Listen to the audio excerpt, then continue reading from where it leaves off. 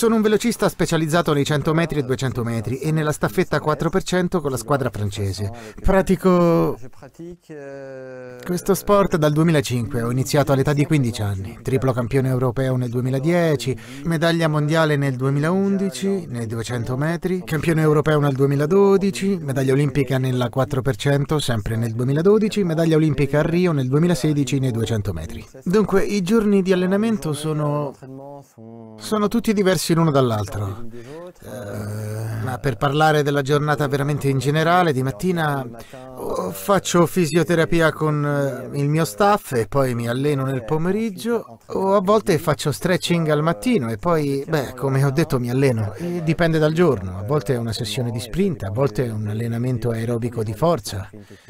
A volte è sprint lungo o preparazione generale, quindi a seconda del giorno sei tu che scegli qualcosa di diverso. Io dal momento eh, che sono un atleta professionista di alto livello con la mia agenda Uh, ho accesso alle mie strutture dedicate, ho accesso alla pista, alla sala pesi, quindi posso allenarmi normalmente. Non è stato così nel primo lockdown, dove, beh, non ci era permesso fare nulla.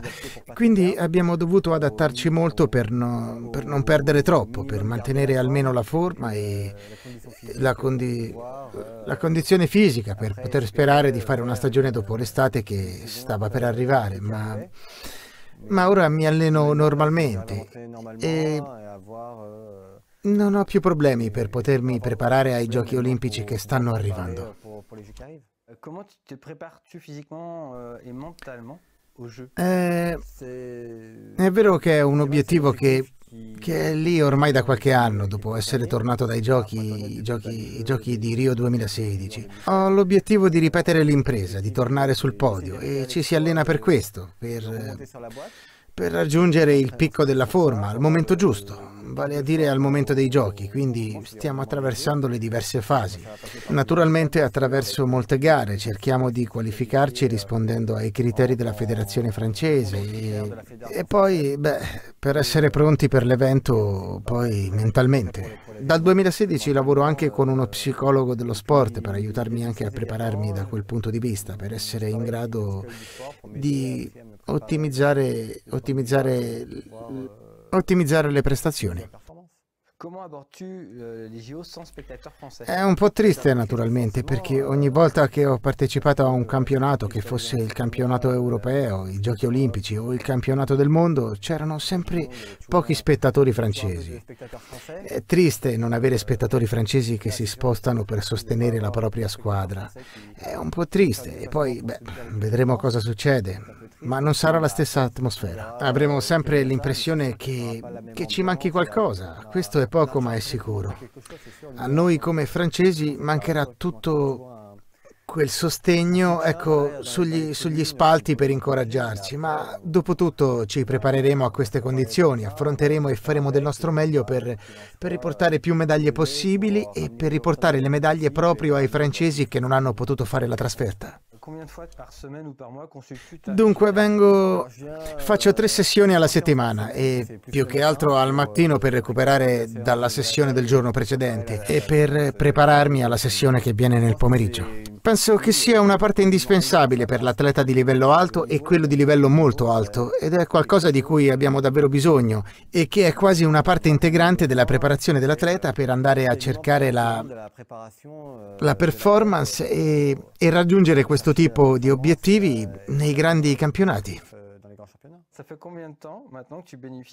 Uso il dispositivo Indiba da circa tre anni per aiutarmi a recuperare e anche per ottimizzare il processo di guarigione dopo, dopo un infortunio. Uh, usiamo Indiba quasi sempre.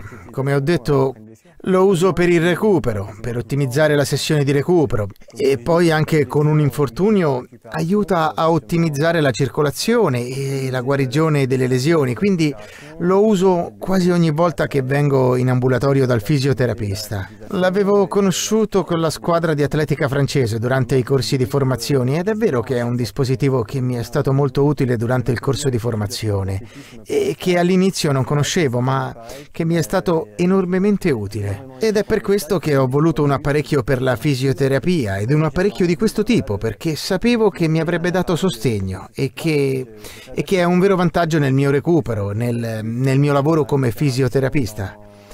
E, ed è per questo che oggi Indiba è, è, un prodotto che rappresenta un vero vantaggio e che forse al momento, io credo che al momento, al momento a mia conoscenza, eh, sia uno dei migliori, uno dei migliori dispositivi per gli atleti. Un petit peu de tes blessures, surtout celle de l'année dernière au mois de juin. Tu t'es fait un beau claquage au niveau des ischios. D'après toi, sans Indiba, t'aurais mis combien de temps à récupérer? Parce qu'il me semble que ça a été super rapide. Oui, c'est vrai que je, viens ici, que je viens au cabinet de kiné. J'avais connu avec l'équipe de France d'athlétisme pendant les stages. Sì, quello ho avuto delle piccole cadute. Lì ho impiegato un po' di tempo per uscire da quell'infortunio ed è stato più veloce di quello di quello che avrei potuto immaginare. Per me Indiba ti permette davvero di perdere meno tempo a causa di un infortunio rispetto al tuo programma di allenamento. Penso che ci sia voluta qualche settimana, non di più, per poter riprendere il programma e iniziare quindi poi a fare sprint.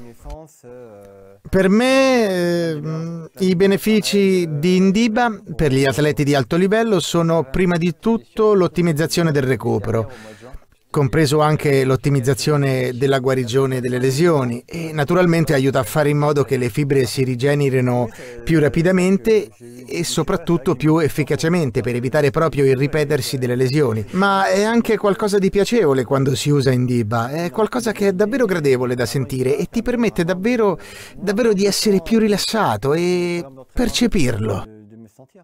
Euh,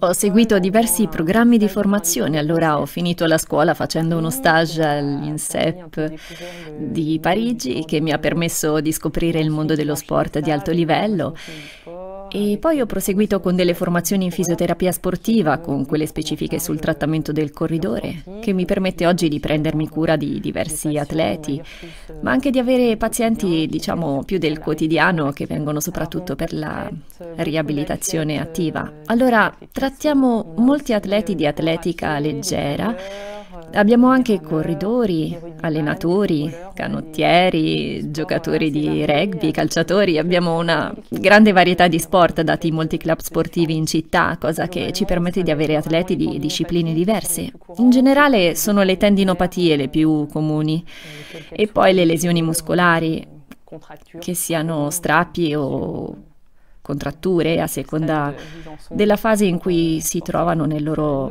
percorso sportivo. Il nostro lavoro come fisioterapisti è semplicemente quello di mettere gli atleti nelle migliori condizioni per la prestazione, qualunque sia la loro disciplina e per me la fisioterapia è un vantaggio rispetto a quello che possiamo offrire con le nostre mani per poterli mettere in quelle condizioni e soprattutto nel momento in cui ne hanno più bisogno, quindi sì, permette di aumentare le prestazioni dell'atleta.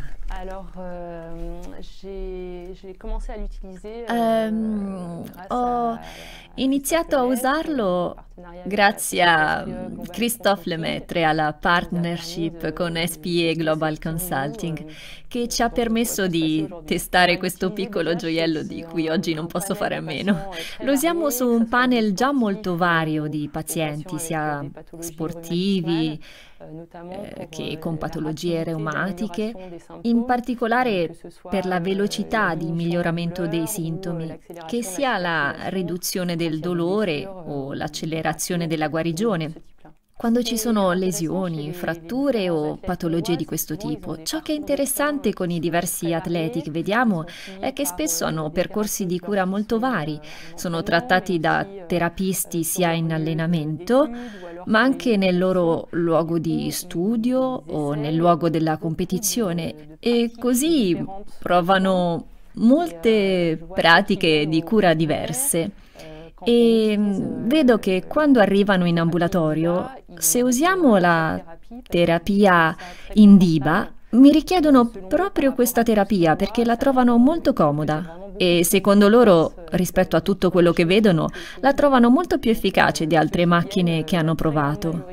Così, di quelli che vengono, la stragrande maggioranza mi chiede di fare la tecarterapia in DIBA. In un periodo di allenamento quotidiano tratteremo aree di lesione piuttosto piccole, vale a dire che l'atleta arriva, ci spiega come è andata la settimana o il giorno prima o le ultime sessioni di allenamento e secondo le sue sensazioni prenderemo di mira certe aree che sente un po' affaticate per poter tornare ad allenarsi e quindi avremo una pratica molto più mirata. In generale durante il periodo della competizione invece l'atleta è in buone condizioni fisiche, tutto va bene nel complesso, quindi saremo molto più globali nella presa in carico, con cure che gli consentano di competere con un livello di prestazione prestazioni che si mantenga massimo nel lungo termine.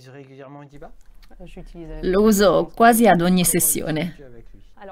Dipende dal periodo, cioè come dicevo all'inizio della sessione facciamo il punto con lui su come si è sentito, su ciò di cui pensa di aver bisogno per quella sessione. Eh, se si è appena infortunato, se è davvero acuta la ferita, useremo la terapia per accelerare la guarigione per aumentare la circolazione a livello vascolare e in modo che possa cicatrizzare il più rapidamente possibile. Poi, quando siamo nelle fasi di recupero, useremo piuttosto la parte termica insieme a manovre molto più globali.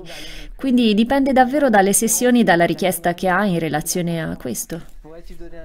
Euh, Riguardo a Christophe in particolare, beh, con il passare degli anni gli infortuni diventano sempre più frequenti, è la sorte di tutti gli atleti di alto livello, il corpo inizia ad essere un po' stanco per tutti gli allenamenti, quindi siamo qui per aiutarlo a mantenersi al meglio nonostante il bilancio dei suoi infortuni che può aver subito Secondo me la fisioterapia mi consente di accelerare il suo recupero quando si è appena infortunato. Per esempio, è essenziale che non perda troppa capacità muscolare, quindi il fatto che il dolore si riduca rapidamente gli consente di tornare attivo molto rapidamente, quindi la guarigione sarà migliore e potrà ricominciare ad allenarsi molto prima, cosa di cui ha bisogno. Beh, quello che ho potuto paragonare non è tanto per gli sportivi, perché è vero che per uno sportivo è sempre difficile paragonare come sarebbe se non avessimo fatto nulla rispetto a come avendolo fatto.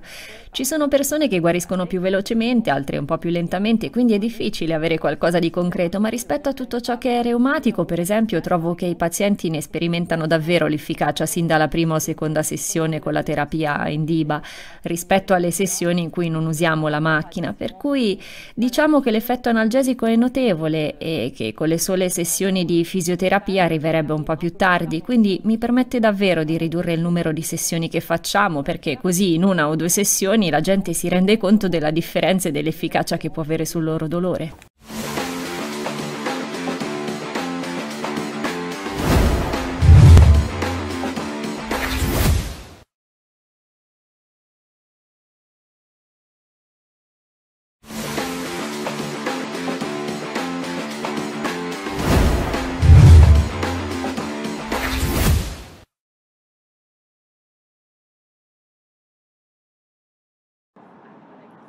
Hi, I'm Megan Kripchin. I'm a marathon runner. I'm a 232 marathoner, 69.51 and a half.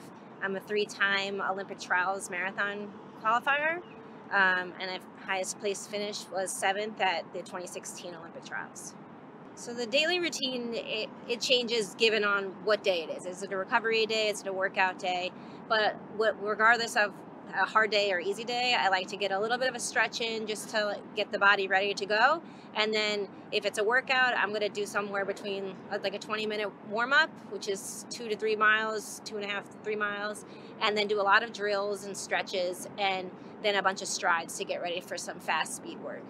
On a, on a regular day, just stretch the body, do a few little prehab rehab exercises, and get the body ready to handle just a steady run, and then get after my day. So in order to prepare for an upcoming race, it's kind of you you look ahead and then you plan backwards. So like for a marathon, it's somewhere between like 12 and 16 week buildup.